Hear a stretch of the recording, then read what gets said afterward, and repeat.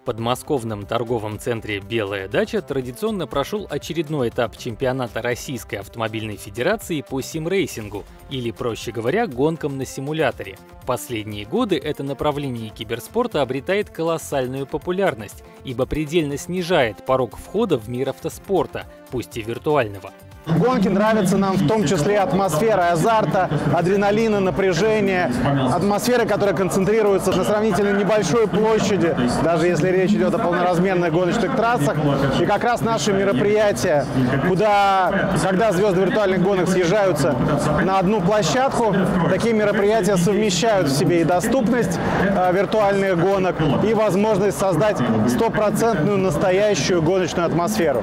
Доступность, впрочем, тоже понятие условное – Спорт уровня чемпионата страны всегда подразумевает лучшее профессиональное оборудование. Наши соревнования проводятся на продвинутом профессиональном оборудовании. Каждый из симуляторов, который используется для гонок, стоит больше 1 миллиона рублей.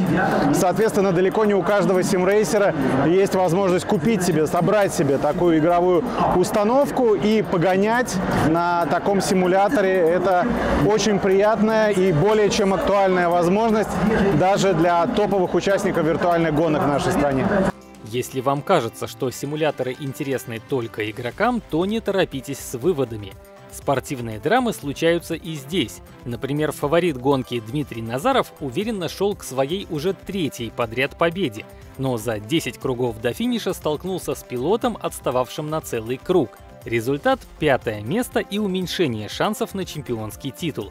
При этом на высшую ступень пьедестала поднялся киберспортсмен Лука Королев. Я сегодня был, я бы сказал, где-то третьей быстрейшей машины на трассе. А, Тарабукин, Назаров, а, как всегда, показывают свой а, класс. Они сегодня ехали 1-2 ну, по темпу, но им, как сказать, у них случились такие рода интересные моменты, потому что Тарабукина, общем, развернула где-то на круге, по-моему, если не ошибаюсь, шестом-седьмом. Я ехал вторым, и уже потом вот этот инцидент, конечно, с круговым, я так понял, у Назарова вывел меня, по сути, на первое место. В киберспорте есть две составляющие успеха. Острейшая интрига на трассе и относительная доступность всем желающим попробовать свои силы на виртуальном треке. Так что в следующем году интереса к чемпионату, скорее всего, будет еще больше.